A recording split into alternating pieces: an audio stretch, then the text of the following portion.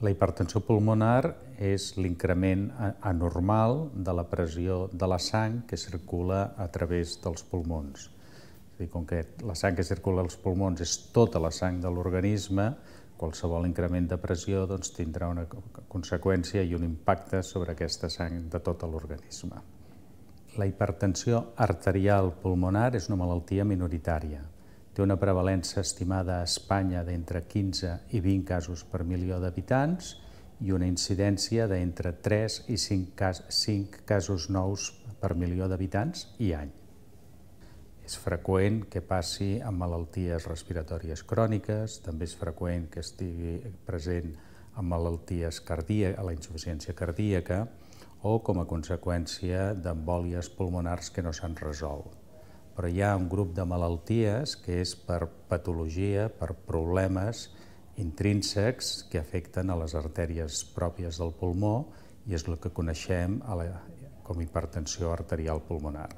Aquesta forma d'afectació de les artèries pulmonars pot donar-se d'una forma de causes desconegudes, és a dir, el que en diem una forma idiopàtica, però també hi ha formes o bé hereditàries, que estan associades a alteracions genètiques, o es presenten en el context d'altres malalties, com són les malalties autoimmunes, la, una d'elles és l'esclerodèrmia, també es pot donar en el context de cardiopaties congènites o infecció per l'HIV.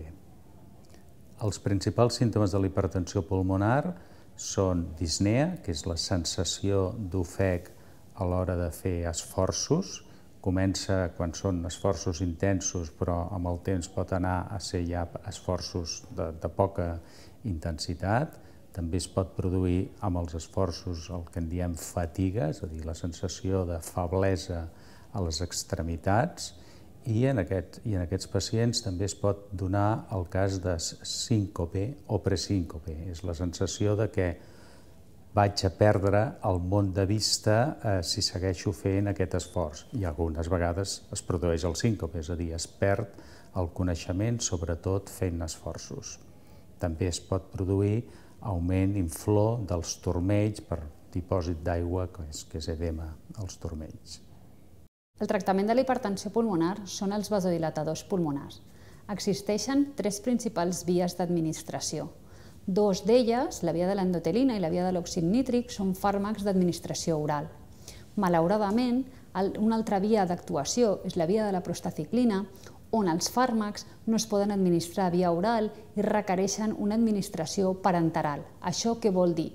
Vol dir que l'administració d'aquests fàrmacs és o per via inhalada, o per via subcutània, o per via endovenosa. Aquests últims tractaments són més complexes, però són realment molt efectius. Aquests tractaments han demostrat una millora de la supervivència d'aquests pacients, han demostrat una millor tolerància a l'esforç, és a dir, caminen més, que és el principal símptoma que pateixen aquests malalts, i també ha millorat eh, la, qualitat, la seva qualitat de vida. Amb aquests tractaments, els principals efectes secundaris tenen a veure amb el seu potent efecte vasodilatador. Per tant, els hi pot baixar, al igual que baixa la pressió a l'artèria pulmonar, doncs baixar la pressió sistèmica, és a dir, la pressió que habitualment ens prenen a les farmàcies. També, com a conseqüència d'aquesta baixada de pressió o d'aquest efecte vasodilatador, podem tenir mal de cap, podem tenir envermelliment a la cara i podem tenir retenció de líquids principalment a les cames. A més a més del tractament farmacològic, hi ha una sèrie de recomanacions sobre l'estil de vida en aquests pacients. Se'ls recomana, en primer lloc, seguir una dieta sense sal, ajustar la quantitat de líquid que prenen a més o menys un litre i mig diari. A més a més, es recomana intentar evitar les infeccions i vacunar-se o tractar les infeccions de forma precoç. I també s'ha demostrat que realitzar un programa de rehabilitació també millora els símptomes de la hipertensió pulmonar.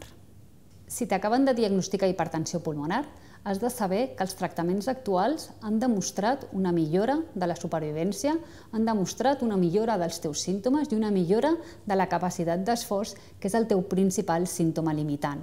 Per tant, tot i tenir una malaltia greu, tenir una malaltia rara, a dia d'avui han millorat molt el seu pronòstic amb tots aquests tractaments.